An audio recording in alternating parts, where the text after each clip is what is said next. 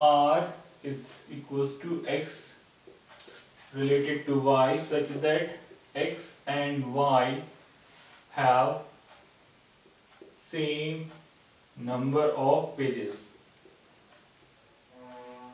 Pages. Is an equivalent equivalence relation. Uh, show that relation r in the set of set a of all books in a library of college. जो set है, वो a है. All books in library. तो हमें ये दिखाना है कि दिस रिलेशन इज़ जो यहाँ लिखा हुआ है, x related to Y is equivalence equivalence relation कब होगा? जब वो रिफ्लेक्सिव हो सिमेट्रिक हो और ट्रांजिटिव हो. तो यहाँ पर हम स्टेटमेंट लिखे लिखा हुआ है, उसी से प्रूव करेंगे। X and Y have same number of pages तो यहाँ से लिख सकते हैं X and X have same number of pages it means X related to X हो गया। तो ये कैसा हो जाएगा? रिफ्लेक्सिव सेकेंड देखो X and Y have same number of pages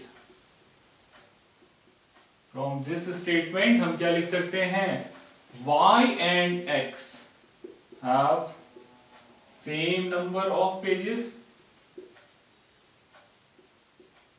so x related to y and y related to x और ये दोनों x y all books in library को belong भी कर रहे हैं this relation is सिमेट्रिक अब हमें यह दिखाना है कि ये रिलेशन हमारा ट्रांजिटिव भी है। तो ट्रांजिटिव का मतलब क्या है?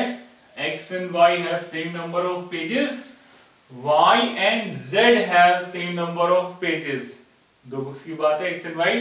Then x and z have very easily हम इसे लिख सकते हैं। देखिए इसको। रिफ्लेक्सिव वाली बात मिटानी पड़ेगी।